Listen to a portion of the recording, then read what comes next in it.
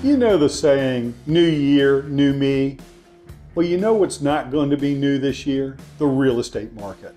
We are going to be dealing with the same old issues. Interest rates will remain low, so we have lots of buyers, but still not enough sellers.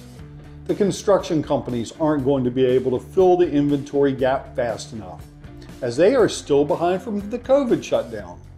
Luckily, we've been having conversations with potential sellers and perhaps the inventory outlook will turn around.